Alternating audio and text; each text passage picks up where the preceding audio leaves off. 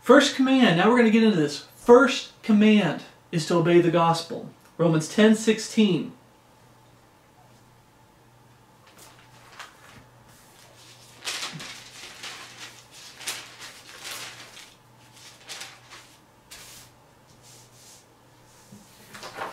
keeps getting slipped around. Romans 10, verse 16. This is where we're going to read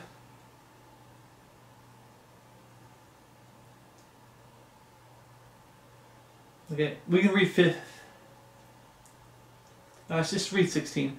But they have not all obeyed the gospel. For Isaiah saith, Lord, who hath believed our report? You read this whole chapter, it talks about how they're preaching the gospel. How verse 14 says, How then shall we call on him whom we have not believed?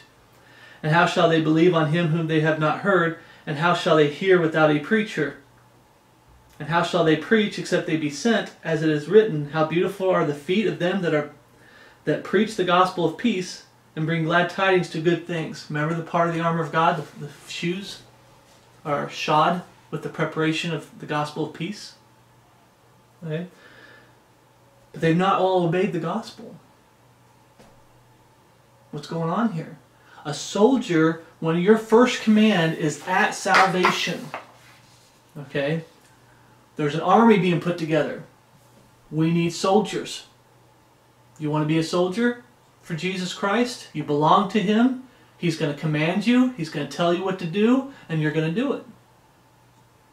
Who wants to be a soldier? Most people say, no, I love my life. I love living however I want to live. Right? No, you throw that old man at the foot of the cross, God gives you a new life, new man, new creature in Christ Jesus, and now you're a soldier for Jesus Christ. Repentance towards God, faith in our Lord Jesus Christ. The Bible is taught repentance, repent, repent, and they like to take repentance out. Godly sorrow. For godly sorrow worketh repentance to salvation. It's what makes repentance work. And that repentance starts at salvation. Starts before salvation, before God saves you. Being a soldier starts at salvation. Picking up your cross daily starts at salvation. Trusting God starts at salvation. But before salvation, it's repentance. Rep uh, repentance towards God. I say, see. For godly sorrow worketh repentance to salvation, not to be repented of, but the sorrows of the world worketh death. 1 Corinthians 15, 1 through 4 talks about believing in the finished work of Jesus Christ on the cross. Okay, how that he died, was buried, and rose again according to the scriptures. Death, burial, and resurrection. How he died, he bled to death. The blood was shed to pay for my sins. You confess both in prayer. With the mouth, I say, for with the heart man believeth unto righteousness, but with the mouth confession is made unto salvation.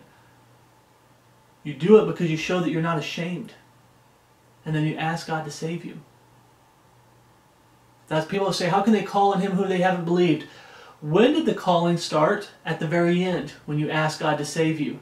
Call means ask. Don't let anybody tell you differently. The Old Testament, you go through and do a word study on call, it means ask. You're asking God to save you. Does that come before belief or after belief? It comes after belief. 1 Corinthians chapter uh, 15, first, 1 Corinthians 15 uh, verse 2 talks about how you can believe in vain. That belief is in vain. You skipped repentance, you don't call, you don't confess both in prayer, that belief is in vain. We talked about that. The no change life gospel is the no resurrection gospel. And that's what they mean by uh, you're not believing in, you're believing in vain. Okay? But the first command you're given as a soldier, brother and sister Christ, is to obey the gospel. 1 Thessalonians 2, chapter 2, verse 13 For this cause also thank we God without ceasing, because when you received the word of God, which you heard of us, you received it not as the word of men, but as it is in truth the word of God, which effectually worketh also in you that believe. Remember it says, Who hath believed our report? When we read that, but they not of all of Romans ten sixteen, but they have not all obeyed the gospel, for Isaiah saith, Lord, who hath believed our report? We read it there. This is the word of God, God's perfect written word, and it effectually works in those that believe. Can you, you know the way to tell the difference between someone who believes in, in this book and who doesn't believe in this book? Look at the life they're living. It effectually worketh, not just words, worketh the life that they're living. It's going to show whether they believe in this book. And we're supposed to treat this book as if it's the Word of God, and it is. It's not just the words of men. I've had people attack the King James Bible being God's perfect written word. Okay? It's our final authority. 2 Corinthians chapter 4 verse 1. Therefore seeing we have this ministry as we have received mercy, we faint not. Remember what we read, not to be repented of. When I quoted about the sorrows of the world, not to be repented of. We faint not. We don't ever repent of repenting. You never repent about obeying the true gospel, the plan of salvation. You have someone say, Well, I was saved that way, but now it's only belief, it's only belief.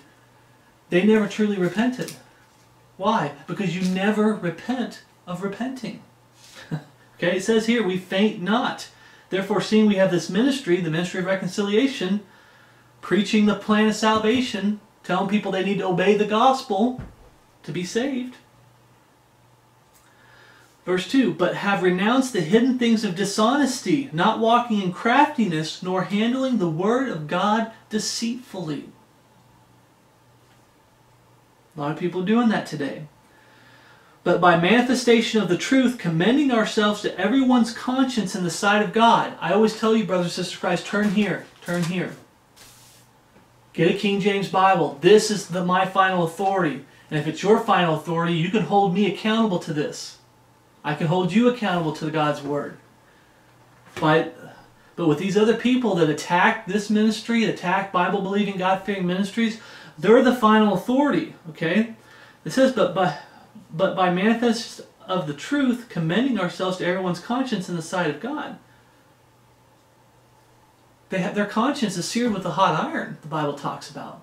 Why? Because they're handling the Word of God deceitfully. It's not about the Word of God. It's not, thus saith the Lord. It's, thus saith my preferences. Brothers and sisters in Christ, when we got saved and became soldiers for Jesus Christ, it became, thus saith the Lord. What does our Lord commander say? I mean, in America, it's like commander in chief. But what's our commander say? Thus saith the Lord. Not thus saith my preferences okay? But we can hold each other, sharp, as iron sharpens iron, the Bible talks about. We teach each other the Word of God. We correct each other through the Word of God. We encourage each other through the Word of God. That's how it works. Every man's conscience in the sight of God. Verse 3 But if the gospel be hid, it is hid to them that are lost and whom the God of this world hath blinded the minds of them which believe not, lest the light of the glorious gospel of Christ, who is the image of God, should shine unto them. We always say, but if the gospel be hid, it's hid to them that are lost. But who's hiding it from them? The God of this world. The God of this world, you go ahead and read the whole story again about the uh, parable of the sower. Okay? The, the lowercase g God of this world is going to do everything he can to prevent people from getting saved. And the number one way, because people were getting saved left and right, people were getting saved left and right in the past. There was a big explosion, people were getting saved. So how do I prevent people from getting saved? This is Satan. How, do we, how does he prevent people from getting saved? Well, what if I came up with a system where I could offer them the flesh, their sins, they can keep their sins, and still be a Christian. In other words, get them to believe that they're saved when they're as lost as a paper plate in a snowstorm. And that's exactly what he did. And whom the God of this world has blinded the minds of them which believe not. They don't want to follow God's plan of salvation. Repentance towards God, faith in our Lord Jesus Christ, confess both in prayer and ask God to save you. Through faith. It takes faith to do all those. Faith is the substance of things hoped for, the evidence of things not seen. People like to try to replace the word faith with the word trust because I always tell people I have a Webster's 1828 dictionary, but I don't always go off of it because it's made by the world. Okay, the Webster's 1828 dictionary, I think someone showed me, it said that under faith it tried to add a definition of trust under the word faith. Faith has nothing to do with trust, it's hope. Faith is the substance of things hoped for, the evidence of things not seen. When you're repenting and believing in the finished work of Jesus Christ, you're hoping with all your heart that God will save you. A God that you can't see. At salvation, when God saves you, that's when trust comes in. That's when your life of trusting Jesus Christ comes in. I always say that, Lord, I trust you. Now that I'm saved, whatever's going on in this world, Lord, I trust you. You know what you're doing. Right? John 3:19 says, "And this is the condemnation that light has come into the world and men love darkness rather than light because their deeds were evil." Satan offers them, "You can keep the flesh." That, that, that pesky armor of God and being a soldier for Jesus Christ, nah, you really you really don't want to be that. Yeah. And people buy it. People want it. They want to be able to they want to keep their sin. They still want to be a drunkard. They want to be a drug addict. They want to be a fornicator, an adulterer. They want to party hardy, uh, movies, TV shows, video games, cussing, whatever. I mean, all these sins that are out there. Okay? The ways of the world is always about the flesh. It's about sin. Just indulging in sin, lasciviousness. The Bible talks about people who are lovers of pleasures more than lovers of God. That's what Satan offers them. You can be lovers of pleasures more than lovers of God and call yourself a Christian. We promise them liberty, being liberated from the law of sin and death. That's what the New Testament uh, Christianity liberty is. The New Testament liberty for a Christian, if I can say it right, is you're being freed from the law of sin and death. They promise them liberty, yet they themselves are the servants of corruption. They're really offering them corruption, not liberty. Okay. Second Thessalonians eh, 1 8. Turn to Second Thessalonians 1 8.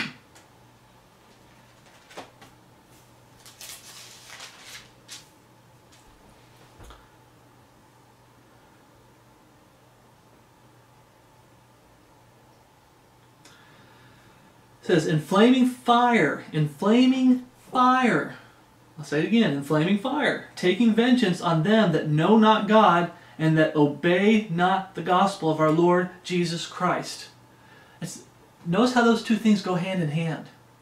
If they don't obey the gospel of Jesus Christ, they don't know God. All these people out there, oh, you don't have to have repentance. You don't have to ask God to save you. They're mocking asking God to save you, calling upon the name of the Lord. They mock it. They don't know God. It goes hand in hand. If they don't obey the gospel, they don't know God. That's why it says here, Know not God, and that obey not the gospel of the Lord Jesus Christ, who shall be punished with everlasting destruction from the presence of the Lord and from the glory of his power. Everlasting destruction. You're being destroyed for all eternity. You're burning for all eternity. You never burn up. It's everlasting destruction. It means you're being destroyed constantly all the time for all eternity, but you never get destroyed completely. Verse 10. When he shall come to be glorified in his saints and to be admired in all them that believe, because our testimony among you was believed in that day. We already talked about this. All right. Who hath believed our report? Romans 10 16, where it talks about they had not obeyed the gospel. Who hath believed our report? Here's my testimony. I've given my testimony on how I was saved. Born again. The old man is dead and buried with Jesus Christ. I came to the cross, foot of the cross, in a repentant state, broken. I believed, I finally could understand, fully understand what Jesus did for me on the cross and believe in my heart the death, burial, and resurrection of Jesus Christ. The finished work of Jesus Christ on the cross that was God manifest in the flesh, and it was His blood that was shed on the cross. He paid the price for my sins. That's my testimony. And afterwards, I confess both in prayer. I asked God to save me. He came into my life. He gave me a new life. He's changed my life. That's my testimony, the changed life gospel. Who hath believed our report? because our testimony among you was believed in that day. Right? Our testimony, I'm using that for today, even though that, that day is talking about uh, when we get to heaven, we're going to know who was saved and who wasn't. Right? And if I was ever wrong, I'd rather err on the side of caution and preach the gospel to someone I think is lost, and we both wind up in heaven and we're sitting there. I was wrong. Praise the Lord, I was wrong. Glad you're here than to say, well, I didn't say nothing and I was right, and that person winds up in hell. Well, I could have witnessed to him, testified to him, preached the plan of salvation, pushed, you know, that obeying the gospel. Titus 1.16 reads, They profess that they know God, but in works they deny him, being abominable and disobedient unto every good work, reprobate. Remember we read up there, unprofitable and vain? Reprobates, worthless. The works that they do are worthless. They're going about to establish their own righteousness, trying to get their good works to outweigh their bad works, thinking they can stand before Jesus Christ and get into heaven that way. All these people are like that. These easy believism. Even they are like that. Oh no, we're not. Yeah, you are. You're all about keeping your sin and living the world's way and living the world's way. And when you get up there at the great white throne, there is no denying that you're a sinner. There is no denying Jesus, the real Jesus Christ, the real gospel. And at that point, the people are going to be just falling down on their knees and trying to say, but, but I did these good things over these bad things. I did these good things. I'm still a good person. And they're still going to try to push the good person thing. Okay? It's worthless. Okay? Mm-hmm. They do not want to obey the Jesus that is the Lord and King, nor the plan of salvation that he gives, so they make up their own Jesus and own plans of salvation. We're going to get into this. They make up their own Jesus and their own plan of salvation. They want to make the commands. They want to be the ones making the commands, basically. They don't want Jesus commanding them. They want to be the ones making the commands. So they come out with this own Jesus that's like a puppet they put their hand into and start talking for them, and they give their own commands and what they want. That's exactly what's going on, brothers and sisters of Christ. Uh, Bible says you can be as gods, knowing good and evil in Genesis 3.5. That's what it's all about. Ye can be as gods. And the Jesus that's mainly preached, that's mainstream today, is an easy believism, love gospel that you can continue in your sin. God's okay with sin. Jesus is okay with sin. Sin's not that big of a deal. And he's okay with you conforming to the world and being a friend of the world and not abstaining from the all appearance of evil. He's okay with drunkenness. He's okay with fornication. He's okay, and on and on and on and on. Yeah, you probably shouldn't do that, but God's okay with you because God loves you. Present tense. What's going on? This easy believism. They're creating another Jesus. A false commander when they're the ones that are really the commander. They're commanding themselves and telling themselves what they want to hear. 2 Corinthians 11.4 says, For if he that cometh preacheth another Jesus, whom we have not preached, or if ye receive another spirit which ye have not received, or another gospel which ye have not accepted, ye might well bear with him. Who's the him there? Well, if you read verse 1 through 3, it talks about how Satan beguiled Eve. The he there is Satan. Hell was created for the devil and his angels. You're going to wind up bearing with him.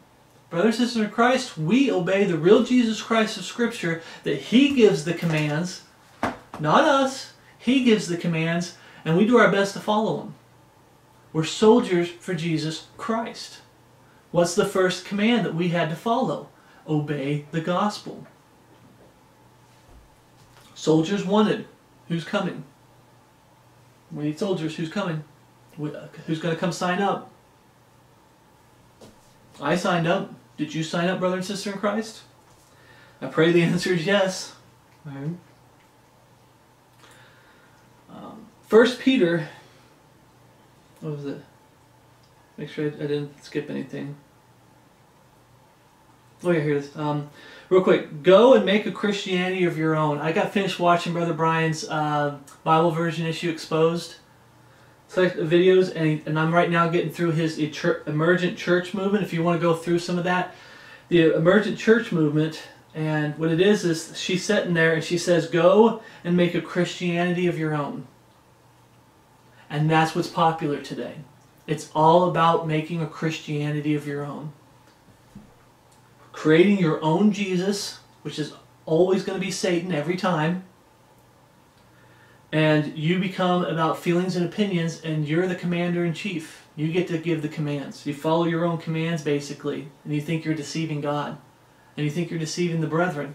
Well, the brethren can see through you only because God sees through you, through His perfect written word. They create a plan of salvation where they do not have to have a changed life. That's what it's all about, brothers and sisters Christ. Ultimately, that's what it's about. People who don't want to obey the plan of salvation, obey the gospel, is because they don't want that changed life. They love their sin, they want to keep their sin. And that's that thing that's so appealing to people. Go and make a Christianity of your own. They're basically saying, go make a Christ of your own that you want to follow. Make up your own God. And ultimately, that God is you, but the deception is you're really worshiping Satan.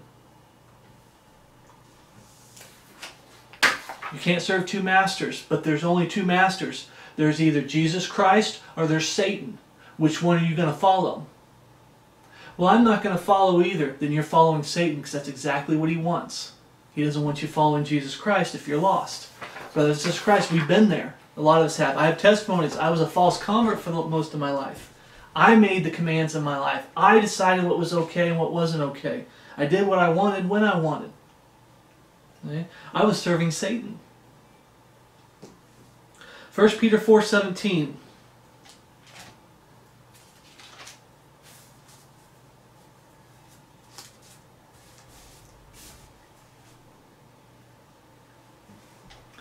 For the time has come that judgment must begin at the house of God. And if it first begin at us, what shall the end of them that obey not the gospel of God? Well, we read what the end of them would be. Everlasting destruction, fire, flaming fire, hell, and then the lake of fire. That's the end of them that obey not the gospel. Right? It's something to keep pushing this, brother and sister Christ. That's why we, we go out there and we're part of the ministry of reconciliation. We start obeying the body, uh, obeying the gospel right before God saved us. When we asked God to save us, we obeyed the gospel, and from that point on, we're obeying the gospel. The changed life is evidence that you're obeying the gospel fruits meet for repentance. That you're in Christ Jesus our Lord. We are created in Christ Jesus our Lord unto good works. Okay? The first command is to obey the gospel. When I joined the military, I, I was in the military. When I joined the military, there was no change. When I got there, I could eat whatever I want. I could sleep in all I wanted, and I could do whatever I wanted. I, I, I, went to the theaters, I went to the movies, I went out to eat. You know, I just was just doing whatever I wanted. Now, how many of you out there, brothers and sisters of Christ, that are ex-military are looking at me going, yeah, right. When I got to basic training, it was you get up when we tell you to get up, you fold and you make your bed the way we tell you to make your bed, you fold your clothes the way we tell you to fold your clothes, you eat what we tell you to eat, you do what we tell you to do every second of every day. Basic training. There was a changed life when I joined the military.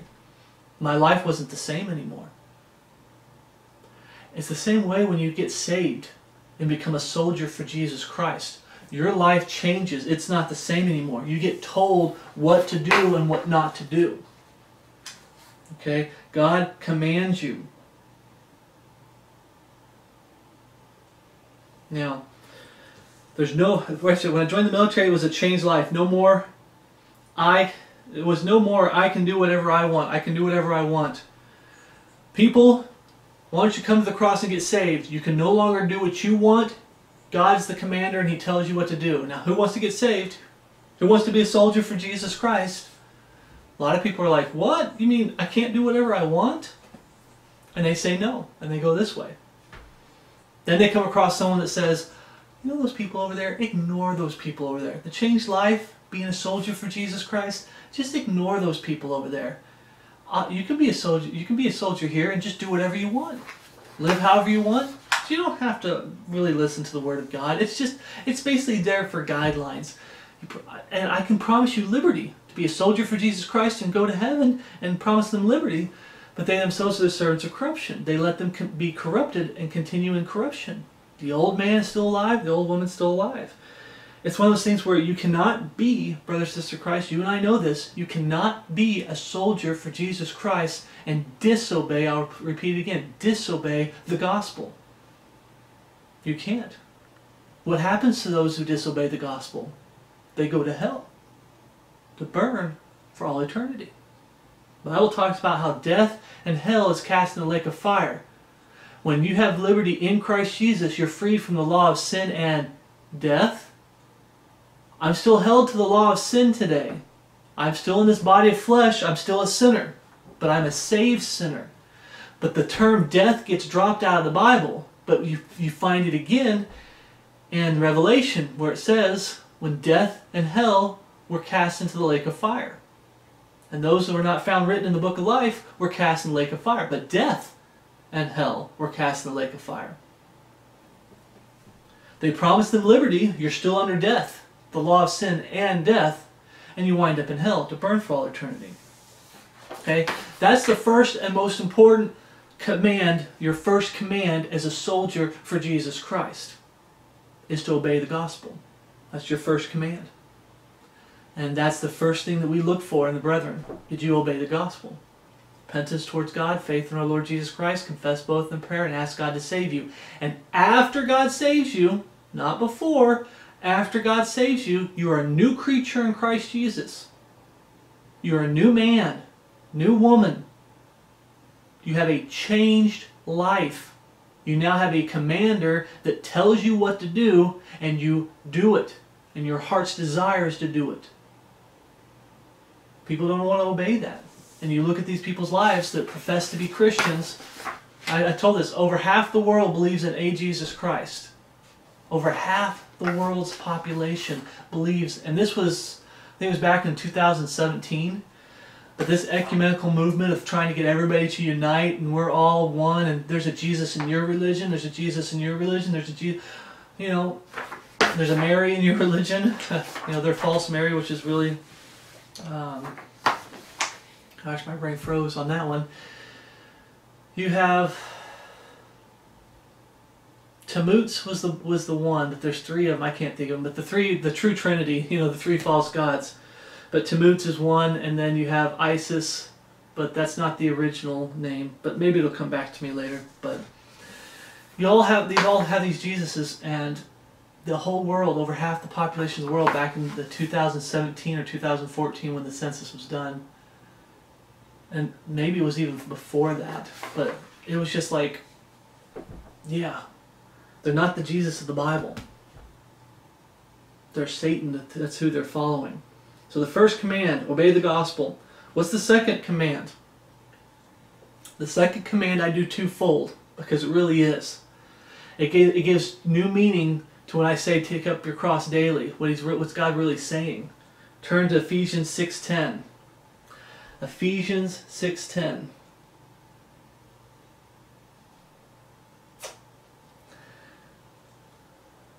Why am I having a hard time? Because there's a glare on it. I couldn't see it. Ephesians 6:10.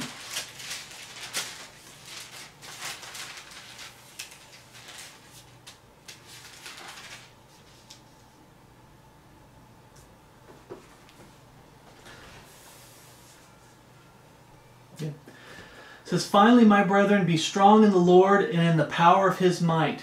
Put on the whole armor of God. I've already said this before, but I'll say it again. It says, whole armor of God. If you just have the sword and no shield, remember what the Bible says? It effectually worketh also in you that believe. If you don't have the shield of faith, the sword isn't going to do squat. Every piece is connected the, breastplate of righteousness we're going to read about, the helmet of salvation, the shod, uh, feet shod with preparation of the gospel of peace. It all is connected. It says put on the whole armor of God, not just the ones you want to pick and choose. I've known people going off on a side talent that you call them out on their sin, the fact that there's no changed life, saying, you know, what's going on here? And they'll come back with, at least I preach the gospel. They don't have the sword, and they don't use the sword. They don't have the shield of faith. They don't have the chest piece of righteousness. They don't have the helmet of salvation. But they're supposedly shodding their feet with the preparation of the gospel of peace. At least I preach the gospel. At least I hand out gospel tracts. What does that have to do with justifying sin? I've had people do that to me. You put on the whole armor of God. Why? That ye may be able to stand against the wiles of the devil. The devil is always trying to entangle you. We read about this. The hardship of the world. He'll make life even harder, purposely trying to trip you up and mess you up. God will allow it sometimes. Okay? Entangle you. We talked about this. Okay? That you may be able to stand against the wiles of the devils. For we wrestle not against flesh and blood, but against principalities, against powers, against rulers of the darkness of this world, against spiritual wickedness in high places.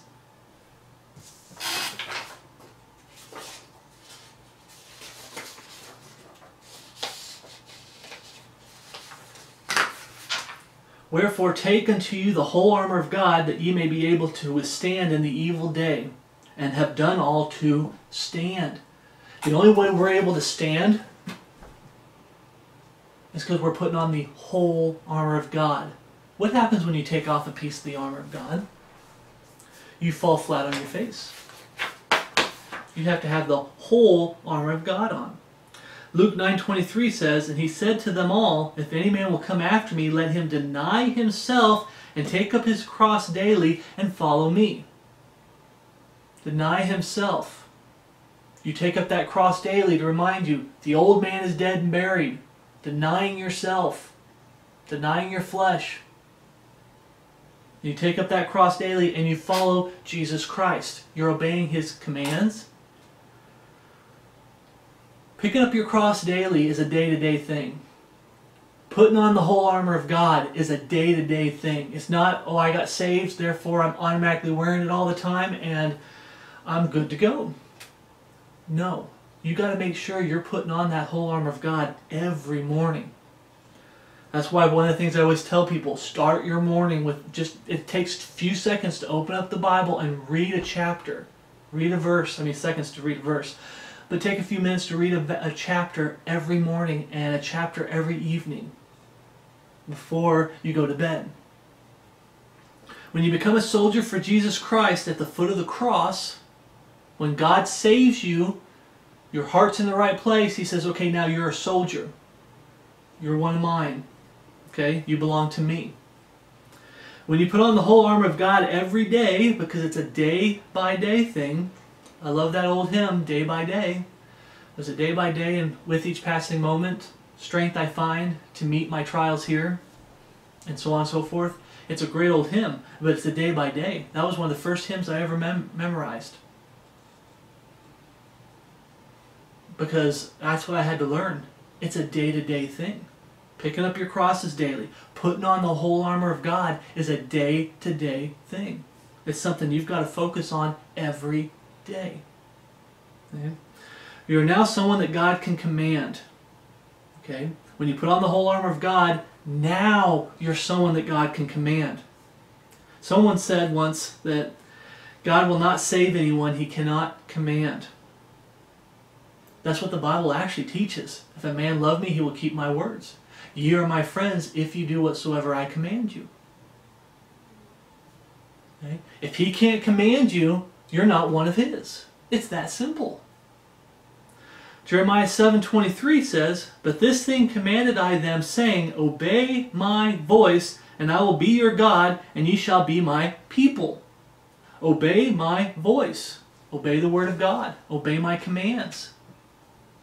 And I will be your God. It goes hand in hand. And ye shall be my people.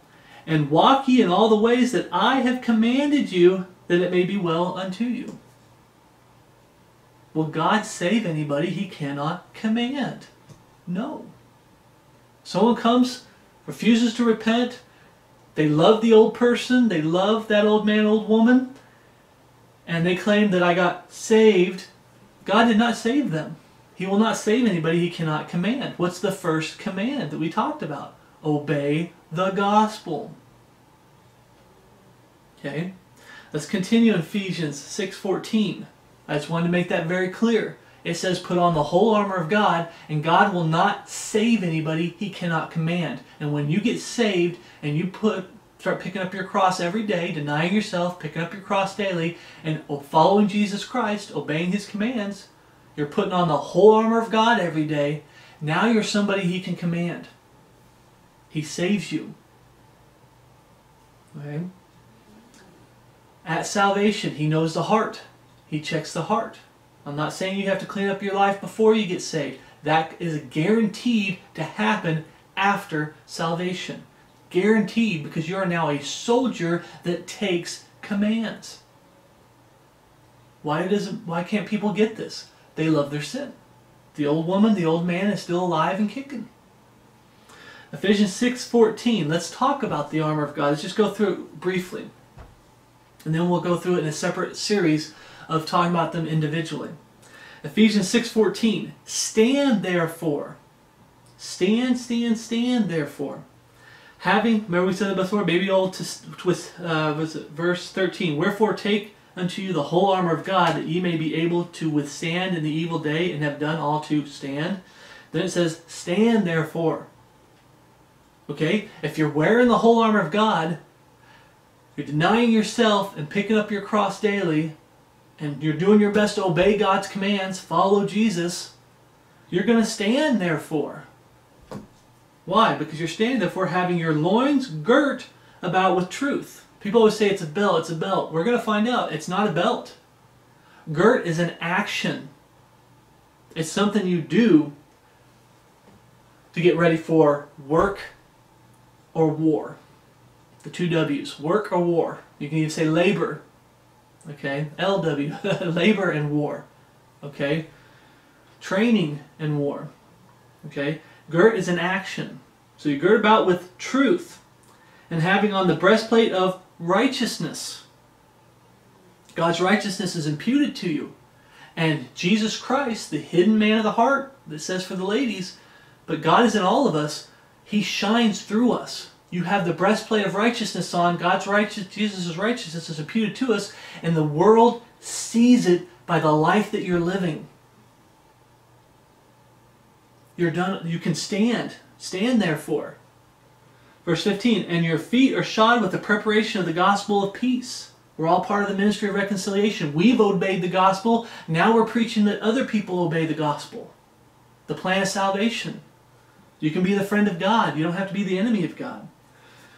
Verse 16, above all, taking the shield of faith. Above all, taking the shield of faith. Wherewith ye shall be able to quench all the fiery darts of the wicked. 17, and take the helmet of salvation. Bible, when we get into that, we're going to talk about that. That helmet of salvation, people think, well, it means that you're saved, eternal security. You could, but I believe when I'm looking into it, it's talking about salvation in this life. You put on the helmet of salvation. The two biggest vulnerable parts a body has, because I'm learning how to hunt, okay? Uh, the headshots are the biggest things that they want. When you're going after deer, you're going after bear, uh, and you're hunting, you want a headshot because you want the meat. You don't want to ruin the meat with the bullet. But the point is, is you take it down in one shot also. The reason you have that helmet on in this life, the Bible says, work out your own salvation with fear and trembling to save sinners. talking about salvation in this life, you put on the helmet of salvation. Are you obeying God? And some, we get into them, some armor, when you had a helmet, it showed a sign of rank. You got up in rank helmet of salvation. But it's mainly there to protect you. And the sword of the Spirit, which is the Word of God. The sword of the Spirit. This right here. The Word of God. Oh, there is no perfect written Word of God today.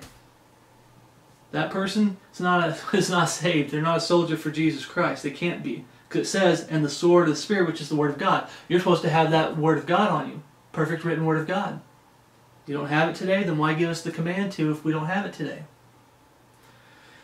Whole nother argument. But 18, here's the big thing. You put on the whole armor of God.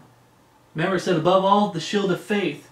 It takes faith in all these things. It takes, like I said, all these pieces of armor are intricate. They go hand in hand. It requires putting on the whole armor of God. But once you put on the whole armor of God, look what the Bible says here. Verse 18, praying always. What does the Bible say? That you're supposed to pray without ceasing? You're to give God thanks in all things? You give God glory in all things? You seek wisdom from the Lord? The Holy Spirit say, Lord, open this book to me. Tell me what I need to do, what, I not, what I'm not supposed to be doing. Clean up my life. You know, you pray for protection. You pray for victory. Lord, give me victory over that sin that I'm struggling with. Praying always with all prayer and supplication in the Spirit, capital S Spirit. Remember what we read in Romans 8. He that hath not the Spirit, he's not of his, none of his. You have carnally minded walking after the flesh versus spiritually minded walking after the Spirit. You're a soldier for Jesus Christ. Holy Spirit comes in and relays what Jesus is saying, his commands, what he hears, therefore that he speaks, the Bible talks about. The Holy Spirit comes in, it's Jesus Christ in you speaking, saying, hey, do this, don't do that. You pray supplication in the Spirit and watching thereunto with all perseverance. You say, we've got this armor of God on.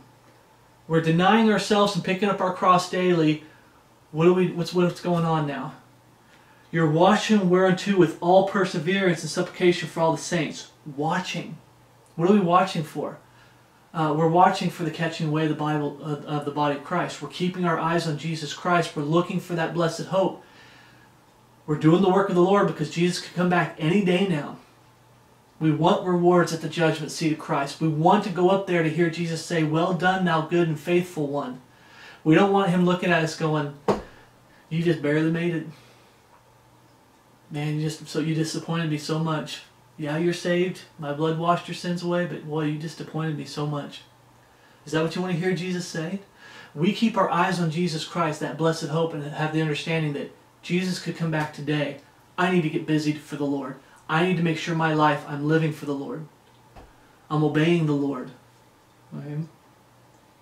Watching thereto with all perseverance and supplication for all the saints.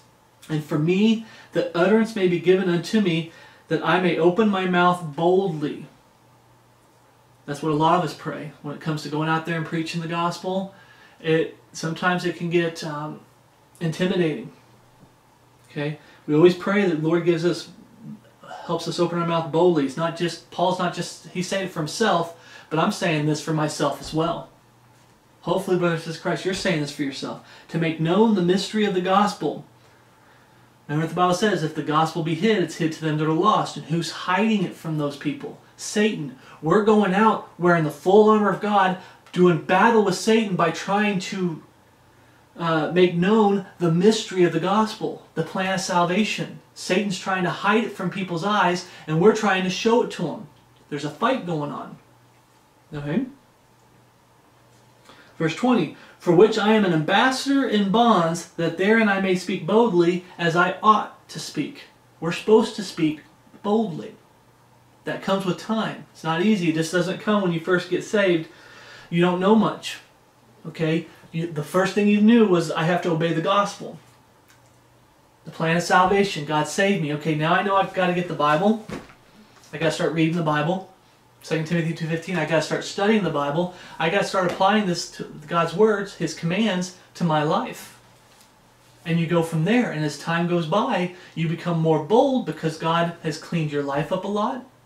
He's shown you a lot in His Word. There's been a change. The Holy Spirit's in there. You start having confidence. Mm -hmm. If I could sum up the day-to-day -day life of a Christian, it would be Ephesians 6.11 and Luke's 9, Luke 9.23. Okay? Take up your cross, uh, deny yourself, take up your cross daily, and follow Jesus Christ. Put on the whole armor of God. That's the day-to-day -day life of a Christian. I don't normally do this, but hopefully I, am getting some amens. That you look at it goes, yeah, it's like every day is a war sometimes. I'm either having to do a lot of work for the Lord, I'm struggling, struggling with the flesh, warring with the flesh, I'm struggling and warring with the lost world, and sometimes I'm having problems with brethren, saved. You know, sometimes you can have problems with some of the brethren, okay, that you're working on. Okay? I can just sum it up. That's the day-to-day -day life of a Christian. Putting on the whole armor of God. I read my Bible every morning, read my Bible every night before bed. Okay? I study the Bible. I live the Bible. I go through my life saying, Lord, what else do I need to give up? Is there anything else that I need to give up? Is there something I'm, I'm supposed to be doing that I'm not doing? Right?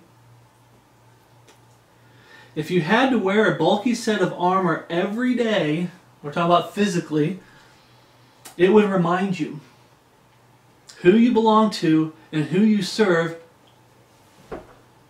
wouldn't it? Wouldn't it remind you, brothers and sisters Christ, if you had to put, when I was in the military, I had a mil, I was in the Air Force, I had an Air Force dress uniform and I had BDUs. And when you put that on, you knew who you belonged to. You knew who you served, you knew who you belonged to. It was a reminder all the time. Brothers and sisters in Christ, we don't have a physical suit to put on. Right? It's all spiritual when we get into talking about it. But we need to stay focused on it. If you were wearing a full suit, an actual suit, and had to walk around in an actual suit of, well, I say a suit, but if you actually, when we look into it, putting on the helmet, okay, girding up your loins, putting on the chest piece, shodding your feet with the preparation of peace. You know, you got the sword you put in here. You, you carry your shield. You can put it on your back and you pull it out when you're ready to defend yourself. All right? If you had to carry that around every morning you put it on and you had to carry all that with you throughout the day, it would be a big reminder of who you are, was it who you belong to and who you serve, who commands you. Oh yeah. All right. So we went over all that real quick just to say, hey, those are the, all the pieces of the armor of God. We will get into them piece by piece, and they all, like I said, they connect with one another. That's why it says put on the whole armor of God. You can't leave one of them out. You leave out the helmet, you get headshot.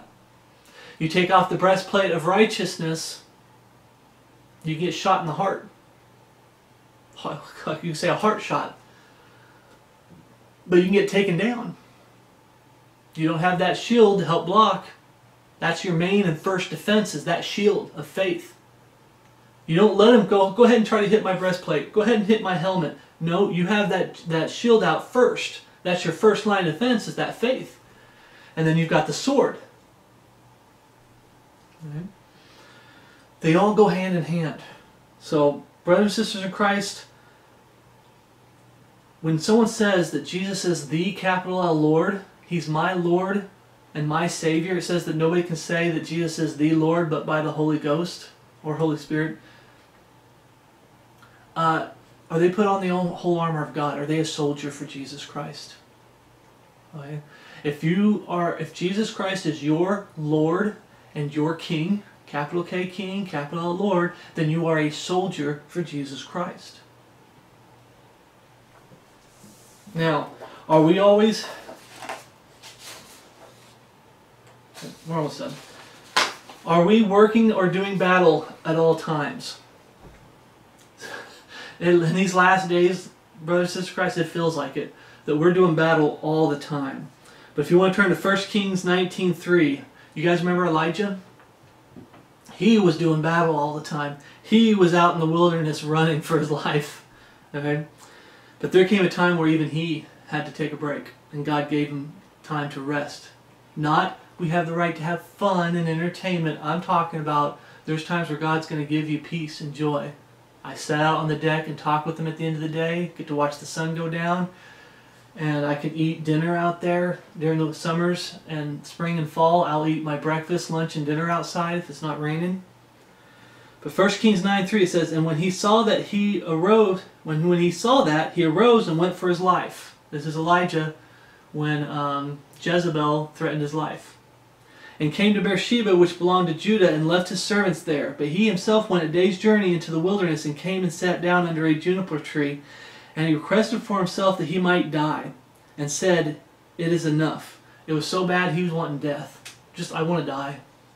How many of us keep saying, Lord, come get me? I'm, just tired of this world. I'm tired of the struggles with my flesh. I'm tired of the struggles with these false converts online trying to come over and trying to mess people up on my channel. I'm tired. Lord, I just want to come home. Lord, call me home. We're all wanting Lord to call us home. How many have been there? I've been there lots of times. Now, now, O Lord, take away my life, for I am not better than my father's. And as he lay and slept under a juniper tree, behold, then an angel touched him and said unto him, Arise and eat. And he looked, and behold, there was a cake baked on the coals, and cruse of water at his head. And he did eat and drink, and laid him down again. And the angel of the Lord came again to the second time, and touched him, and said, Arise and eat. Why? Because the journey is too hard for thee. And he arose and did eat and drink, and went in the strength of that meat forty days and forty nights unto Horeb, the mount of God. There's times in our lives brothers and sisters Christ, where the Lord will say, okay, everything else push to the side. It's just you and me time. Just sit here, go ahead and eat, you know, go ahead and drink, sit here and relax, go ahead and take naps, go ahead and rest for a little bit. He'll give us peace and joy throughout our life as a Christian. We're going to have struggles, and there's going to be days that we're going to be like, Lord, take me home.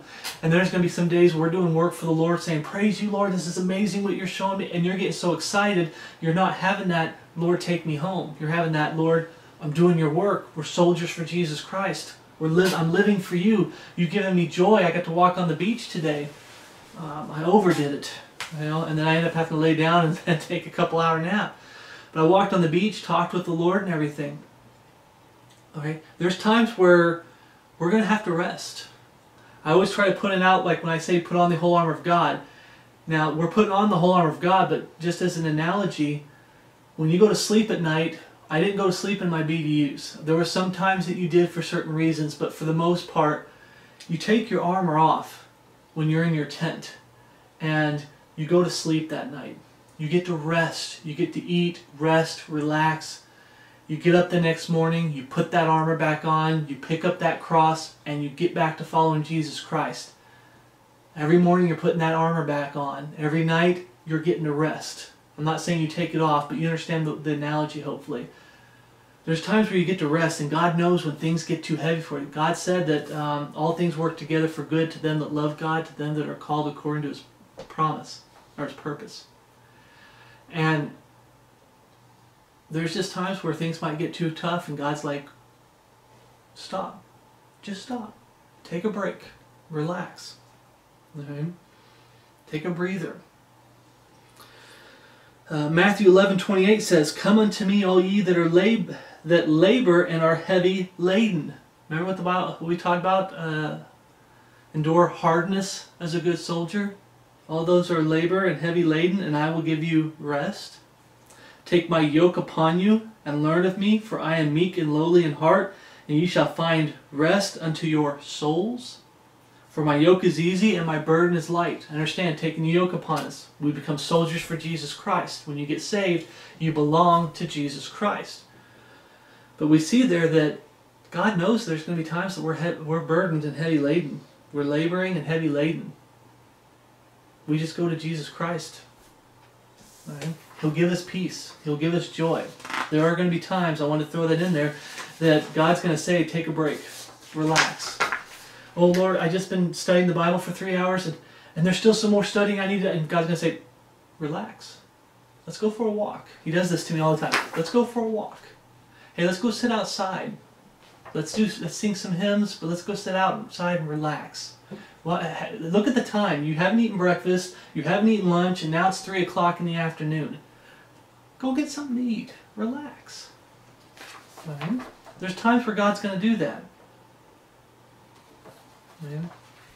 Now, like I said, this is a long study, so I pray that I'll try to see about breaking it up if it's way too long. But if not, then I pray, brother, that you, that you love the Word of God like I do. You can just watch it in parts and then keep up. But we got two more sections here and then we're done. I got an encouragement I want to encourage you guys with and then I want to talk real quick, just barely touching on it, but the people faking picking up their cross daily and putting on the whole armor of God. We already mentioned it a little bit. You look at them and go, wait a minute, that armor doesn't match the armor in the Bible.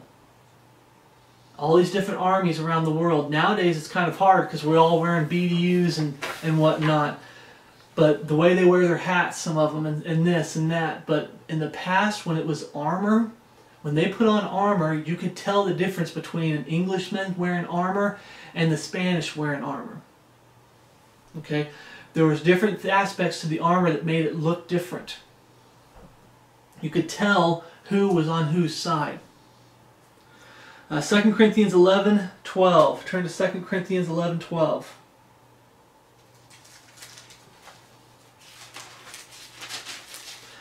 But you have people today that love to fake it. They like to say, I'm wearing the whole armor of God. I'm just like you. I'm one of you. And they're not.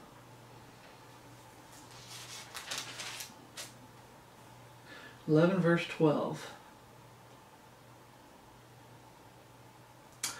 But what I do, that I will do, that I may cut off occasion from them which desire occasion, that wherein they glory, they may be found even as we. They're putting on a show. They're trying to act like Christians. But their glory isn't to God, it's to the flesh. The glory in the flesh. But you see that, wherein they glory, that they may be found even as we. 13. For such are false apostles, deceitful workers, transforming themselves into the apostles of Christ. And no marvel, for Satan himself is transformed into an angel of light. Therefore it is no great thing if his ministers also be transformed as the ministers of righteousness, whose end shall be according to their works. You judge them according to their works. They're going to try to counterfeit the armor of God. They're going to try to counterfeit, I'm picking up my cross daily and everything. But you look at the life they're living. Is there a changed life? has God come into their life, He's their commander, He's their chief, He tells them what to do, and they obey Him. They do their best to obey Him. Is there a changed life?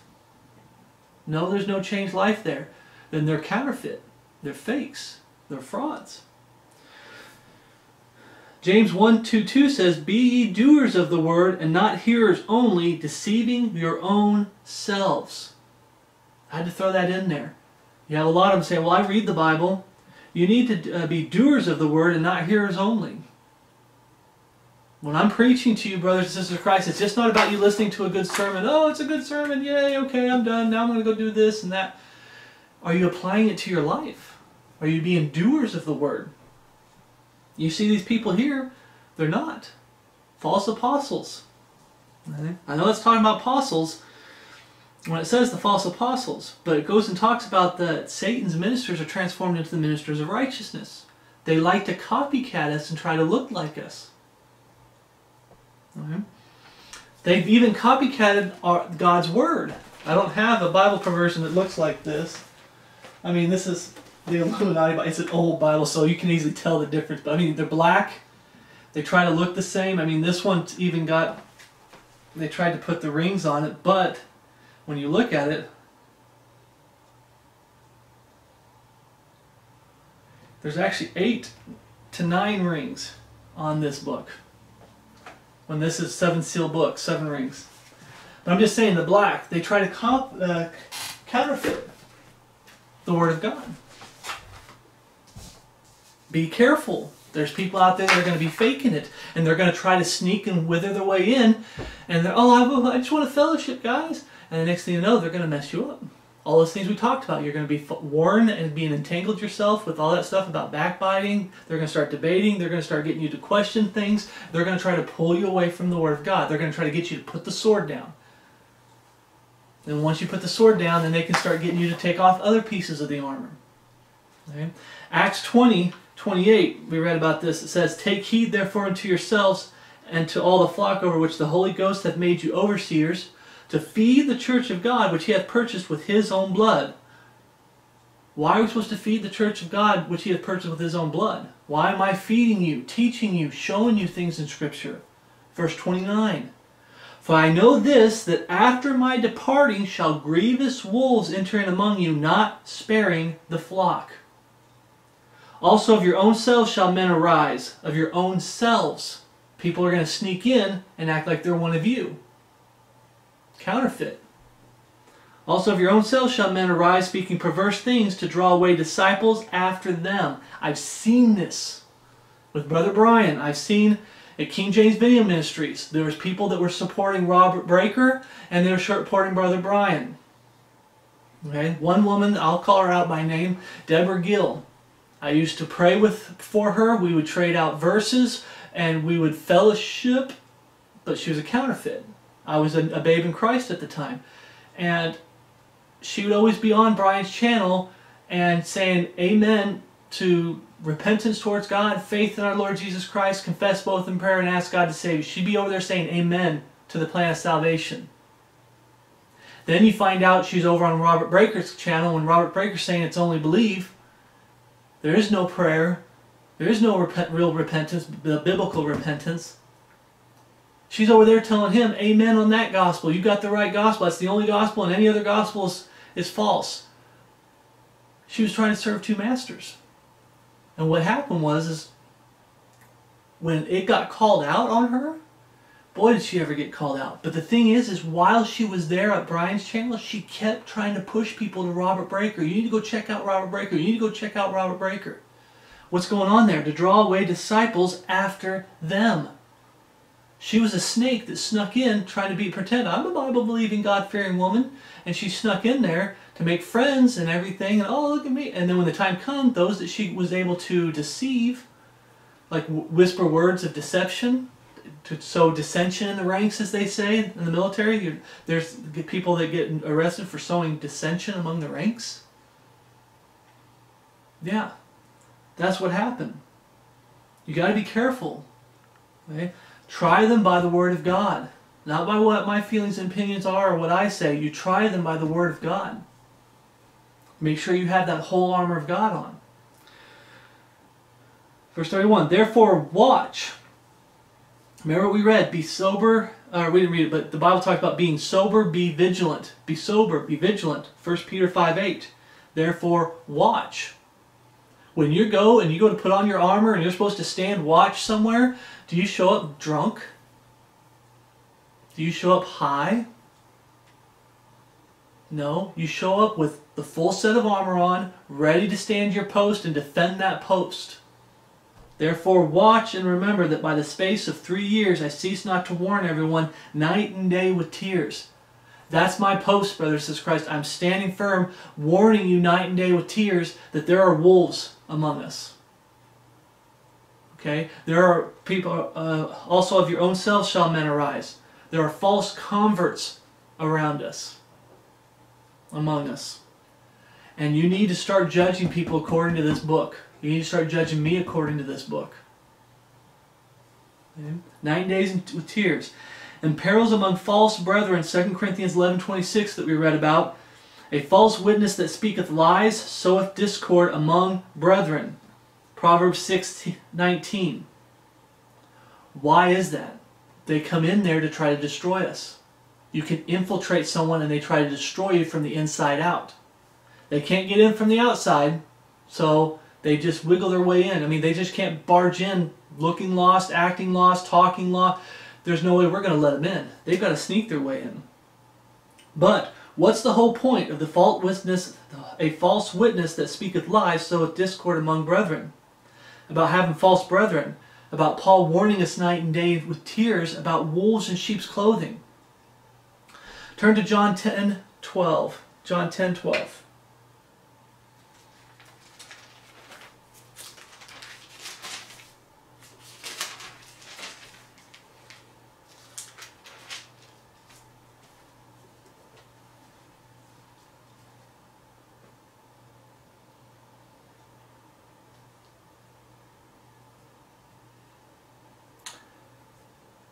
if you read before, it talks about, I am the good shepherd. Verse 11, I am the good shepherd. The good shepherd giveth his life for the sheep. And it talks about how the sheep know his voice. But look at verse 12.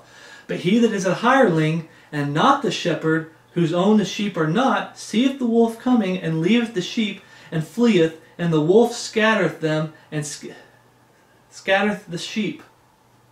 I'm sorry, the wolf catcheth them and scattereth the sheep. What's the whole point? When they come in trying to wear fake armor, be counterfeit, it's all about scattering the sheep, destroying the body of Christ. Be very careful. Sometimes you can have someone that is just lost that can come in and mess the body of Christ up. It's not because we always say the wolves in sheep clothing. Well, I do believe, like I said, with the Deborah, the lady, lady Deborah Gill, she was a snake. I do believe she was a wolf in sheep's clothing. But there's sometimes you can have people that are just flat out lost. And if you're fellowshipping with lost world and you're inviting the lost world into your fellowship, uh, they can really mess you up. Okay? You're supposed to have that armor of God on. You're supposed to be, you're not to have any fellowship with light. How, light's not supposed to have any fellowship with dark. Okay? 2 Corinthians 6.14 says, Be ye not unequally yoked together with unbelievers, for what fellowship hath righteousness with unrighteousness, and what communion hath light with darkness. I just want to throw that in there, brothers. Sometimes we always say they're all wolves. They're not all wolves in sheep's clothing. Some of them are just flat out lost.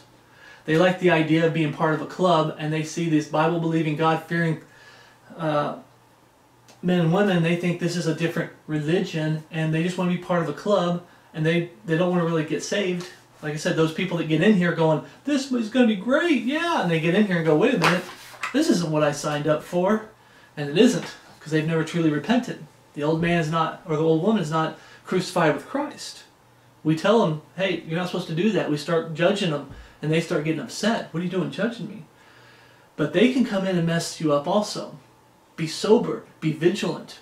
When you put on that whole armor of God and you deny yourself and you're picking up that cross daily and following Jesus Christ, obeying his commands, one of the commands is you're not supposed to be unequally yoked with unbelievers. Right? Now I'm going to end this with encouragement, brothers and sisters in Christ. Those of us, I've been saved for four years, been in ministry uh, off and on for three years. Um, there's a couple times I had to take a break from ministry. Um, I feel like I'm 80 years old sometimes. I mean, I just feel like I, have been in this battle and I've been in this war forever. And it's only been a few years. I, I tip my hat to people like Brother Brian, King James Video Ministries, uh, Cannibal KJV. He's been saved uh, for I think 10 or 11 years uh, when I talked with him. Um, and Brian's been saved for long, uh, that long, if not longer, but he's been ministry for over 10 years. And how it just feels like we it's been an eternity. You know, we just, we've been doing this fighting, we've been putting on this armor, and I just want to do a little encouragement for you brothers and sisters of Christ, okay? Those that are newly saved, uh, don't get discouraged by, by all that we've been talking about. You'll get to where we are. But those of us that have been saved for a while, um, it just seems like we've been in the trenches for, for forever. just seems like it. That's why a lot of us elderly Christians, the elders, we're really desperately going, Lord, is it time yet? Is it time yet? Lord, please come get us. We have those days more often than not. Uh, but 2 Kings 6.15 I'm going to go ahead and keep the Bible here and try to get through this real quick so we can end this study. But encouragement, 2 Kings 6.15. When you feel like you're the only soldier out there, you're the only one. And these last days, we're so spread thin, and there's times where I feel like I'm the only one out here in this area, but you're the only one, and the enemy surrounding you. And uh, Brother Brian said it's called a rearguard action he used that term. It's, he didn't make up the term, but he was the guy that I give people credit where the first time I heard it from. Rear guard action where the enemy's surrounding us and people are starting to get scared. Remember 2 Kings 6.15. And when the servant of the man of God was risen early and gone forth, behold, a, a host compassed the city both with horses and chariots. And the servant said unto him, Alas, my master, how shall we do? We're surrounded by the enemy. And he answered, Fear not, for they that be with us are more than they that be with them. And Elisha prayed and said, Lord, I pray thee, open his eyes that he may see. And the Lord opened the eyes of the young man, and he saw, and behold, the mountain was full of horses and chariots of fire round about Elisha. Let that be an encouragement, brothers and sisters Christ. Anytime you think you're alone, you're not alone. You're never alone. Jesus is with you. Okay? His army that the world can't see is there. Okay? 1 John 4 4. Ye are of God, little children, and have overcome them, because greater is he that is in you than he that is in the world. They are of the world, therefore speak they of the world, and the world heareth them. Another sign of someone who's lost, false convert. We are of God. He that knoweth God heareth us. He that is not of God heareth not us. Hereby know we the spirit of truth and the spirit of error. Greater is he that is in you than he that is in the world. There's two he's. What are they? He that is in you, Jesus Christ. Then he that is in the world, Satan. Remember when people preach the uh, false gospel, another gospel, another Jesus, receiving another spirit? You may well bear with him. Where's the he of this world going to go? He that is in the world. He's going to hell, the lake of fire to burn for all eternity. Okay. Matthew 10, 28. And fear not them which kill the body, but are, able, are not able to kill the soul, but rather fear him which is able to destroy both soul and body in hell brothers and sisters in Christ. Right? Our fears of the Lord. He's the one that we fear. We're not to fear this world.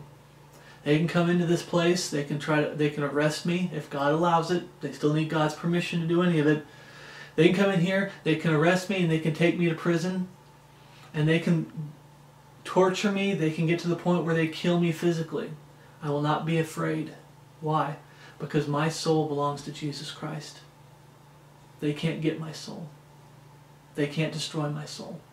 My soul belongs to the creator of the universe. I am sealed into the day of redemption. Okay? Lord, that's got to be encouragement, brothers and sisters in Christ, that your soul belongs to Jesus Christ. You're His. You belong to Him. He owns you, but you belong to Him. No man will take them out of my hand. No man will take them out of my Father's hand. Okay? So, brothers and sisters of Christ, be encouraged. You're not alone in this day to day fight and the day to day struggle. But remember, for the Lord, for Jesus to be your capital Lord and capital K King, you've got to be a soldier for Jesus Christ. You've got to put on the whole armor of God. You've got to endure hardness as a good soldier and not be entangled with the affairs of this life. Right? You got to be sober, you got to be vigilant, and keep your eyes open for the fakes and frauds out there to, to guard yourself and protect yourself. Right? So I'll end this with grace and peace from God our Father and our Lord Jesus Christ be with you all, and my love for you, which is in Christ Jesus our Lord. Uh, thank you for watching, and remember, we're soldiers for Jesus Christ, and we've done all to stand. Don't faint, don't falter, keep your eyes on Jesus Christ, our commander, our Lord, our King, the Lord of Lords, the King of Kings, the Jesus Christ who is come in the flesh. I'll see you in the next video.